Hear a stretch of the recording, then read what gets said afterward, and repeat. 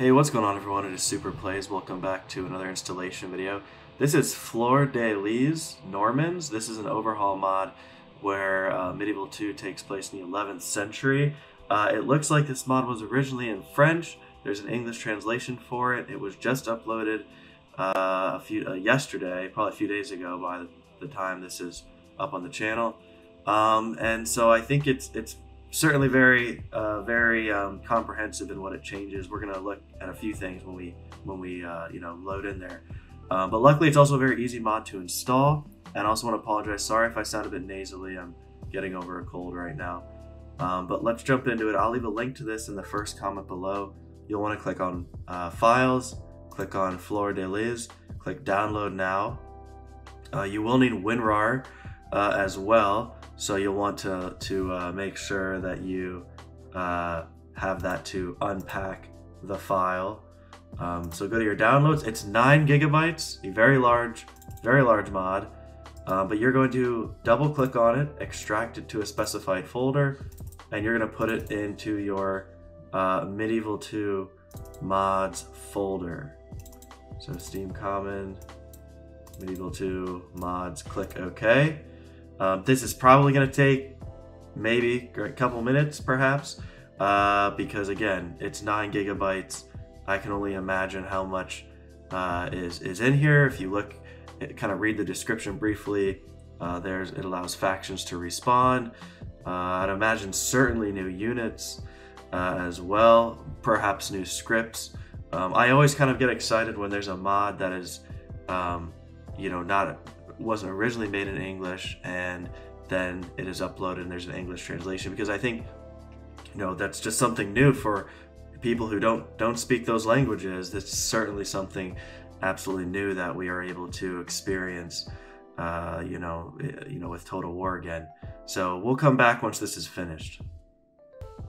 All right once that's finished um, you can go to your mods folder um, before that, though, make sure you have a Medieval Kingdoms, or I'm sorry, make sure you have a Kingdoms application in your Medieval 2 main folder. The way to do that is, if you do not have that already, is copy your Medieval 2 application, paste it into in there, and then rename the Medieval 2 copy as Kingdoms. This just allows you to run batch files and launchers in the mods folder without having to change any of the, uh, um, you know, any any of the DLCs. So find Fleur de Lis A1.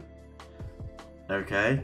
Um, now, because this mod is over 4 gigabytes, you will need to run the um, 4 gigabyte patch.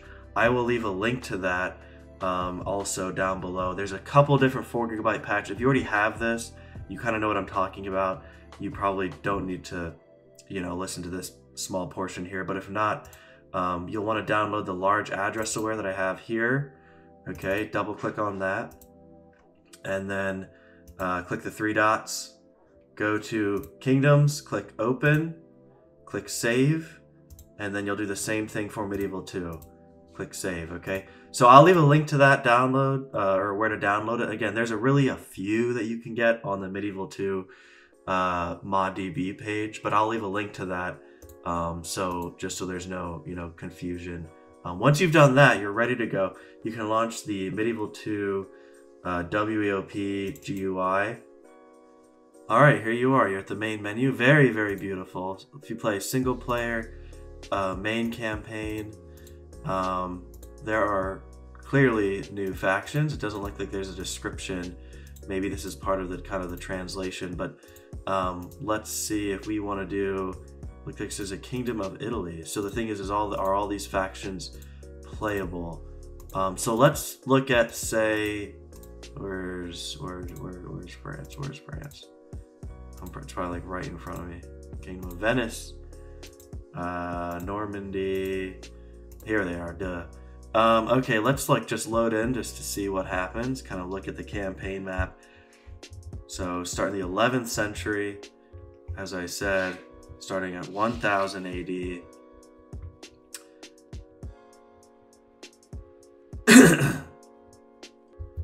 All right, very nice. This is impressive. Uh, you have a ton of forts. I like it. Uh, looks like on the campaign map you can see them dotted Uh, perhaps maybe that will go away. Um, it looks like King Robert. Yes. So this is a really impressive mod, guys. Um, I would certain be certainly be interested.